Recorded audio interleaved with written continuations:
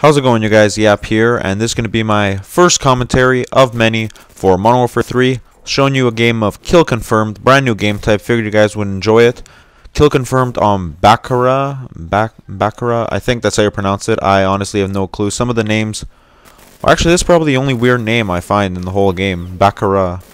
I, I was actually so curious as to what Bakaara was, and I'm such a nerd God, I'm so nerdy. That I actually Googled what Bakaara was, and supposedly it's a market in the Horn of Africa in Somalia. So, this doesn't look like a market, but it's close enough, I guess. And I sped up the first part because honestly, this game, I'm going to admit it, I started out playing kind of campy-ish. Um, so, I sped up that part. This part, or the part I'm going to show you, is a lot more action-packed. And plus, I want to keep it under 7 minutes because of course, ADD stops us from paying attention for more than, you know, six and a half, seven minutes. So I figured it's better off for everyone. Everyone. And it means I have to talk less, so I need to ramble less. And before I talk about my thoughts on multiplayer, I just want to talk about the class I'm using. I'm actually using, well, I have the ACR now, I picked it up. But I was actually using the G36C, which comes back from COD 4. Now, in COD 4, G36C was a very good assault rifle, it just wasn't very popular because it was outclassed by things like the AK-47, M4, M16, stuff like that. But in this game, it feels like everything is a lot more balanced, except for the shotguns, but I'm going to get into that in my what I feel about multiplayer. So I'm using G36C, which I've recently fell in love with. I'm, I'm loving it a lot. G36C, silencer, proficiency is kick, reduce that recoil a little bit. And I'm running Sleight of Hand Pro, uh, what was I it? Quick Draw Pro and Steady Aim Pro. Sleight of Hand lets you Reload faster. Sleight of hand pro lets you switch weapons from primary to secondary faster. Quick draw lets you aim down sights faster. Quick draw pro lets you throw uh, lethal and tactical grenades. And look at me getting sniped in midair. Right here, I was just like, what? Because I was about to get my Overwatch, which is a 9 kill streak in this game, and that kind of angered me.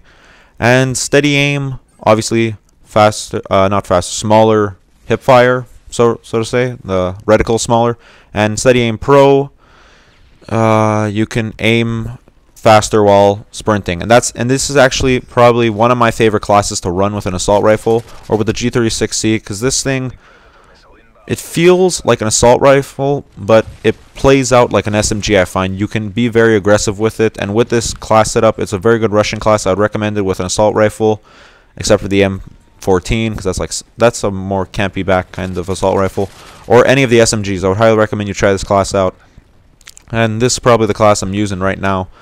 But anyways, let us talk about multiplayer. That's what you guys want to talk about. I have wasted half this commentary just talking about absolutely nothing.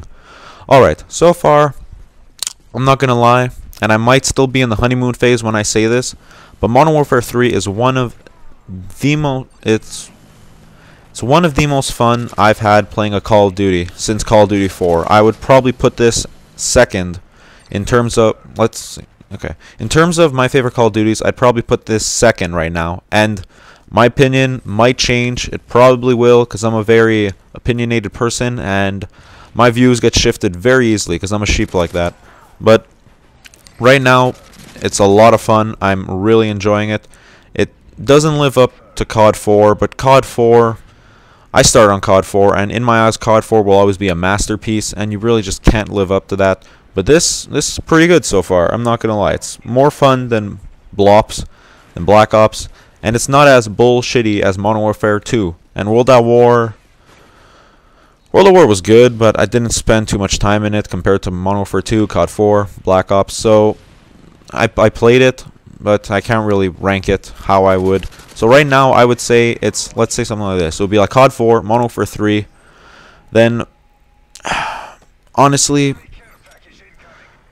I'm kind of stuck between Mono for 2 or Blops. And look, that's triple Mono for 2 or Blops. Mono for 2 was a lot more fun. Blops was a lot more balanced. Take that how you will.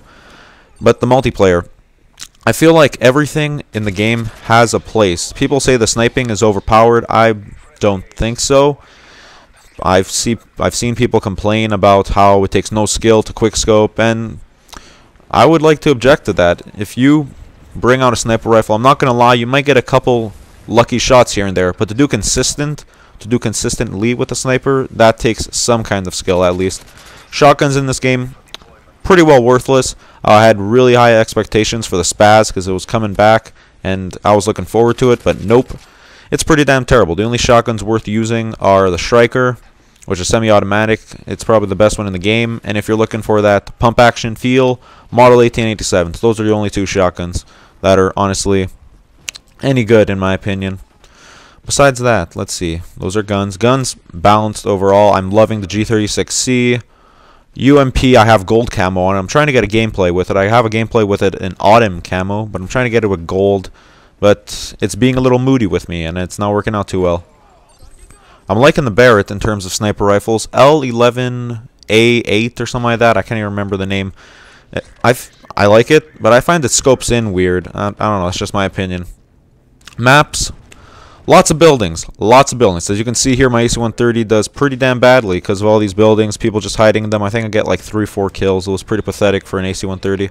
Sandy Ravage would be disappointed with me. But the map's very good, I think, personally.